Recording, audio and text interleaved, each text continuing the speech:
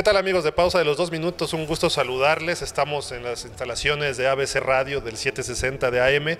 Y bueno, como siempre, nosotros tratamos de llevarles algo extra a la cobertura habitual.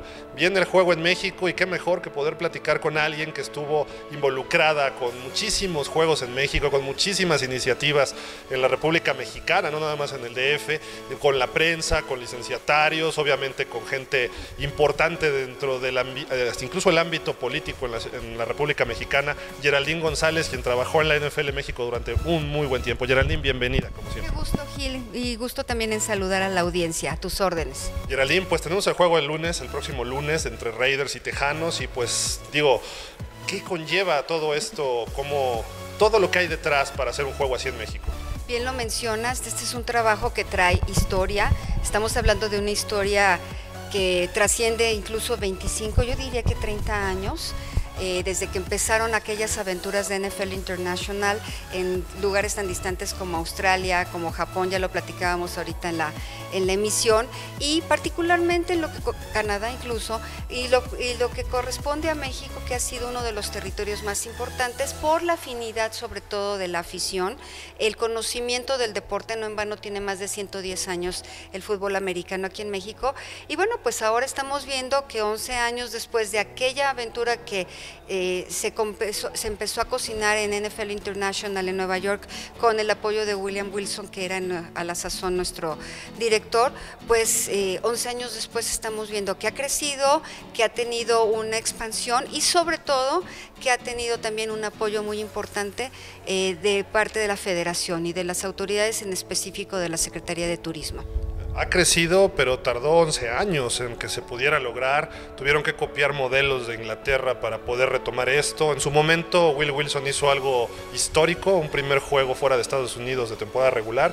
Y ahora, después de 11 años, un primer lunes por la noche fuera de Estados Unidos de temporada regular.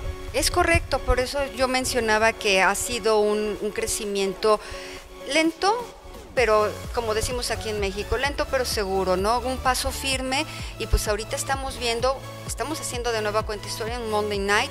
Creo que los equipos no pudieron haber llegado en mejor momento. Al momento de conseguir esa fecha, Nadie se hubiera imaginado que Oakland y Texans iban a llegar en este aspecto. Eso también ha hecho que la afición, sobre todo una afición tan grande que tiene aquí en México Raiders, se movilice, esté presente. Tuvieron un fanfest a mediados de año en el Estadio Azteca y ahí se notó el músculo. Creo que ahora lo van a hacer todavía más, eh, más evidente y sobre todo por el bien de todo el crecimiento del fútbol americano. Por ahí se mencionan muchas cifras. Yo creo que hay que ser muy conscientes probablemente estamos hablando de un país de 120 millones, creo que sería difícil decir que la mitad está involucrado en fútbol americano, pero sí quizá una cuarta parte, con mucho conocimiento y además con, eh, con la afinidad de muchos años, equipos tan eh, emblemáticos como los Raiders, Miami, por supuesto, y bueno, ¿qué les puedo decir también? De Pittsburgh, ¿verdad? Que es eh, Dallas y Pittsburgh siempre están eh, midiendo ahí fuerzas y pues ahorita se van llevando el quien vive en, cuestión de popularidad.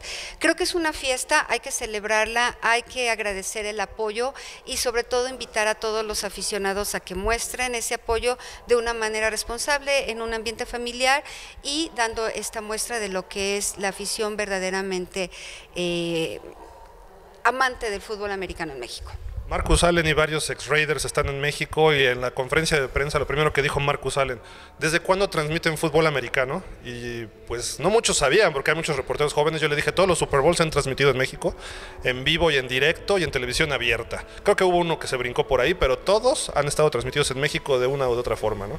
Es correcto, pues estamos hablando de una historia que se remonta a los años 60 y tú lo sabes muy bien como buen aficionado, cuando aquellas personas como Roberto Cosellán, como Fernando von Rossum, como Jorge Berry, todos aquellos que empezaron, Alejandro Lara, por mencionar algunos, evidentemente se me escapan otros nombres, Joaquín Castillo, que todavía está vigente afortunadamente, gran Pepe Espinosa, que podemos decir de nuestro gran amigo Pepe, y ellos fueron los que fueron creando esta emoción y esta expectativa de cada fin de semana poder ver un juego, en ese entonces Vaqueros y, y Pittsburgh, que fueron los que crearon estas dinastías, y ahora ustedes que lo están haciendo sensacional dentro de cada una de sus trincheras, por internet, por la radio, por la televisión, creo que eso es lo más importante que nuestra afición sepa por qué es tan arraigado el fútbol americano. Es un fenómeno sociocultural, siempre lo voy a decir así, pero creo que tenemos la confianza de la liga más importante a nivel deportivo de todo el mundo, que es la NFL, y que no en balde el año pasado registró una ganancia neta de 12 mil millones de dólares casi lo que yo facturo, ¿no? En un mes nada más. Oye, Geraldine, ¿qué estás haciendo hoy en día? Ya no estás con la NFL como tal, pero estás involucrada todavía y me parece que con un equipo, ¿no? Sí, muchísimas gracias por hacer esa consulta. Yo creo que así como ustedes, todos tenemos un, un, amor. Mi amor en cuanto a los deportes es el fútbol americano, no lo puedo negar. Eh, tuve la fortuna de trabajar 15 años con la liga, me tocó abrirla, me tocó ser parte de esta eh, historia de, presencia aquí en México y en otras partes de Latinoamérica.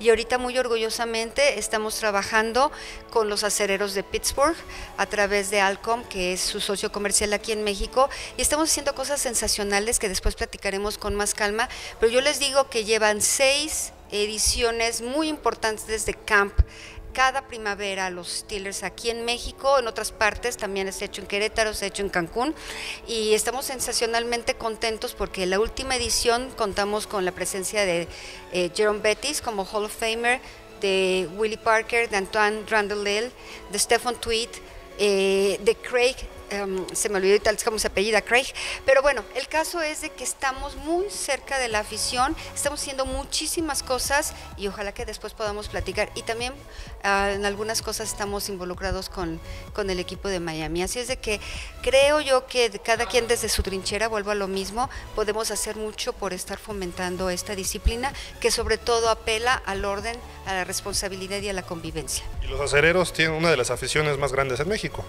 Pues ahorita eh, vamos a ser muy francos, realmente el repunte que ha marcado eh, Dallas nos ha quitado momentáneamente el primer una semana nada más. Nada más el primer lugar en, los rankings pero hay estudios muy serios en los que estamos eh, sobre todo en el primero o el segundo lugares en términos de afinidad en términos de seguimiento. Tenemos una plantilla muy grande de público femenino también de niños y no en balde la familia Rooney tiene el compromiso prácticamente histórico de estar siempre aquí. Recordarás el American Bowl que vinieron en el año 2000, en el que cayó una granizada, pero nadie se movió de su asiento y todo estaba teñido de amarillo con aquellas Terrible Towels que afortunadamente ahorita también salen. Y estamos felices de la vida de seguir trabajando con toda la afición mexicana que afortunadamente va creciendo día con día. Geraldine, muchísimas gracias y estaremos al pendiente de lo que hagan los Steelers en México. Muchas gracias a ustedes y vamos por un buen fin de semana esta semana de NFL en México.